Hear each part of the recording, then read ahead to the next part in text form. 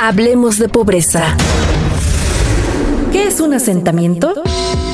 En Techo México hemos definido como asentamiento popular al espacio geográfico que cumple con las siguientes cuatro características.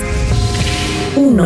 Posee un mínimo de 10 familias viviendo en casas contiguas y que se identifican como una sola localidad. 2. No tienen acceso regular a al menos un servicio básico como agua potable, energía eléctrica, drenaje, recolección de basura. 3. Familias que no tienen papeles que les acrediten como dueños de la tierra y que puedan vivir ahí. 4. Autoproduce su hábitat gracias al esfuerzo conjunto de vecinos y vecinas que trabajan para que sus derechos se vean respetados. Ahora que conoces el problema, participa y súmate al cambio. Hablemos de pobreza.